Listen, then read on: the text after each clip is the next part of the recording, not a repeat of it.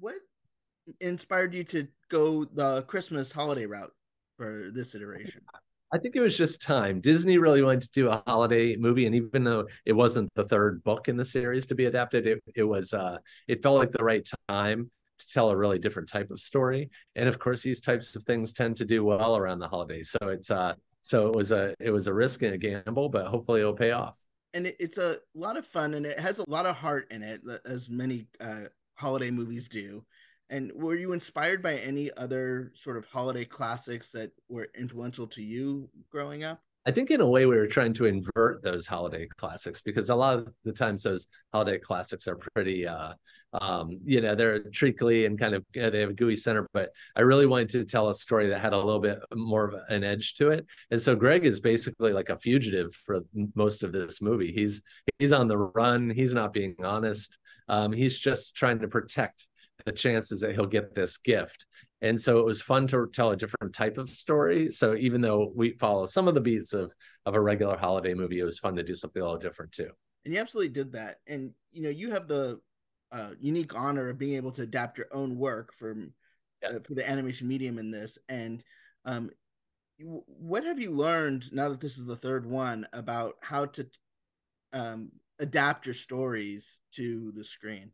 Yeah, I've learned a lot. Um, there's a whole language in in in filmmaking that um, it took me a while to learn. I think I started reading those books, uh, you know, about like Save the Cat, uh, book nine. So that would have been about eight years ago, um, or nine years ago, and I didn't start getting good at it until about two or three years ago.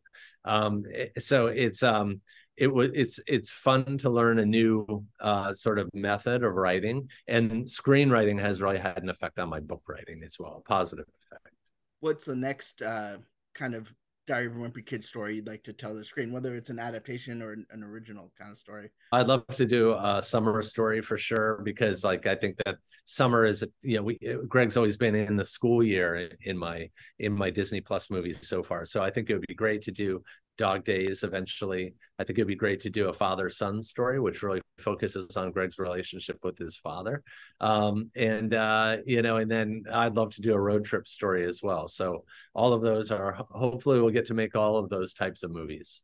And you have a sort of a, a unique honor, I think, in this one, in that your film begins with the Disney 100 Castle, you know, you're contributing to that animation legacy with your your own take. What does it mean to be on a platform like Disney Plus where family films are just the heart of everything that the Disney brand represents? Yeah, it's it's a huge honor. Of course, Disney's been the fabric of uh, most of our lives in some way, in a positive way, and they're known for making quality productions. and And I think uh, you know, I, I, think we've we've done something special here because our, our, stories are sort of small, but there's a place for those stories on Disney too. I think, and not every not every story is Frozen or or Up or you know or you know those types of big big epic stories.